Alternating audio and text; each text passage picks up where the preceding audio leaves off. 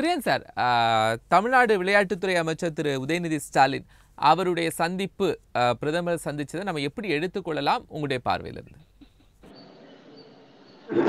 இது வந்து பிரதமர் பார்வையிலேருந்து ஒரு வகையை எடுத்துக்கொள்ளலாம் மற்றவங்க பார்வையிலேருந்து வேறு வகையா எடுத்துக்கொள்ளலாம் அதாவது ஒரு சந்திப்பு வந்து பிரதமர் நிகழ்த்துறாங்க அது உடனடியாக நடக்கிற சந்திப்பு இல்லை. அது பதினஞ்சு நாள் இருபது நாள் முன்னாடி அப்பாயின்மெண்ட் கேட்டுட்டு தான் அந்த சந்திப்பு நடந்திருக்கும்.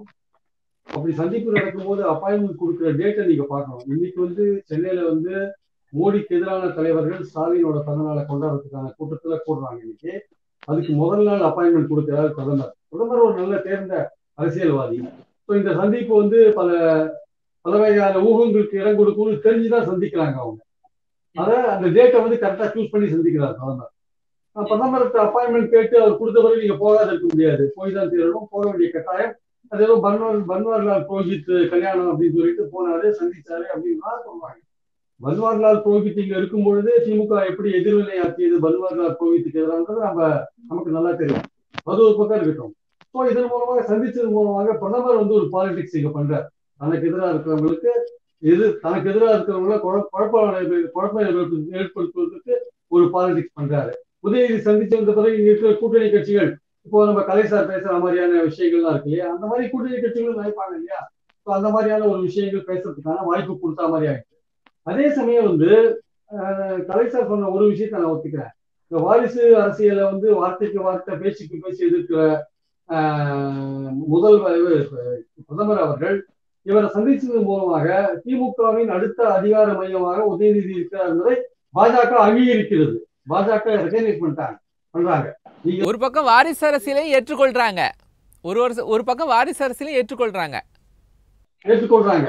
இதை இவர் ரெகனைஸ் பண்ணது மூலமா வாரிசு அரசியல் அவங்க ஏற்றுக்கொள்றாங்க. இதெல்லாம் வந்து என்னன்னா இது எல்லாமே திமுக கூட்டணி கட்சிகளுக்கு ஒரு குழப்பம் கொடுக்கறதுக்காக பாஜக ஏற்படுத்துகிற ஒரு விஷயங்கள். இந்த அப்பாயின்மெண்ட் நேற்று கொடுக்க வேண்டிய அவசியமே இல்லை. அது இன்னும் நாலு நாள் கழிச்சு கூட கொடுக்கலாம்.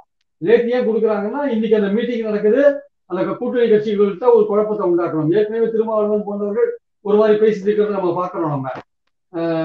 இன்னொரு முக்கியமான விஷயம் என்னன்னா எடப்பாடி ஏதோ பாஜக விட்டு வெளில வந்துருவாரு அதுல எடப்பாடியும் பாஜகவும் ஒரு கொடியில் இரு மலர்கள். அவங்க என்னைக்குமே வெளில வர மாட்டாங்க. எடப்பாடி பாஜக விட்டு வெளில வந்தாருன்னா தங்கமணியும் வேலுமணியும் கொங்கு நாட்டுல தனி கட்சி ஆரம்பிச்சுருவாங்க. தனி அதிமுக ஆரம்பிச்சுருவாங்க.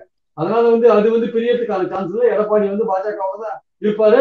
திருமாவளவன் வந்து எடப்பாடி பாஜக விட்டு வந்துருவாருன்னு நினைச்சாருன்னா அது நிச்சயமாக அது நடக்கக்கூடிய வாய்ப்பு இல்லை. அது ஒரு அறியாமையான அறி அறியாமைக்கான ஒரு விஷயமா தான் நான் பார்க்கிறேன்.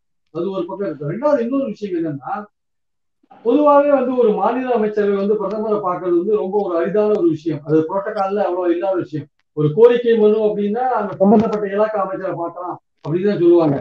சீஃப் மினிஸ்டர் பிரதமரை பார்ப்பாரு கோரிக்கை கொடுப்பாரு. அதெல்லாம் பிரதமர் புரோட்டோகால்ல பிரதமர் கொடுப்பாரு அதெல்லாம் ஆனா ஒரு மாநில அமைச்சரை வந்து பாக்குறாரு அப்படின்னா வந்து அவர் சொன்னாரு டெல்லிக்கு வந்தா பாருங்கன்னு சொன்னாரு பார்த்தோம் அப்படின்ற மாதிரி விஷயத்த உதயநிதி சொல்றாரு. பட் இந்த நேரத்தை வந்து பிரதமர் சூஸ் பண்ணி அப்பாயின்மெண்ட் கொடுத்தது நிச்சயமாக கூட்டணி கட்சிகளுக்கு வந்து ஒரு குழப்பத்தை உண்டாக்குற விஷயம். ஆனால் பாஜக எதிர்பார்க்கிற மாதிரியான ஒரு குழப்பத்தை வந்து உண்டாக்க முடியாது. பாஜகவை எதிர்த்து களமாடுவதில் திமுக உறுதியாக இருக்கிறது என்பது என்னுடைய கருத்து. இன்னைக்கு கூட ஸ்டாலின் பேசுற பேச்சுக்கள்ல நீங்க அதை பார்க்கலாம். இன்னைக்கு இரவு பேசுற பேச்சுக்கள்ல நிச்சயமாக பாஜகவை எப்படி அவர் கவுண்டர் பண்ணலாம் பார்க்கலாம். போஸ்ட் போல்ல சேருவாரா மாட்டாரா? போஸ்ட் போலுக்காக பண்றாரு அப்படின்னு நிறைய சொல்றாரு. போல்ல வந்து எல்லோரையும் ஒன்றுபடுத்துறதுக்கான முயற்சியில ஸ்டாலின் இறங்குவாரு.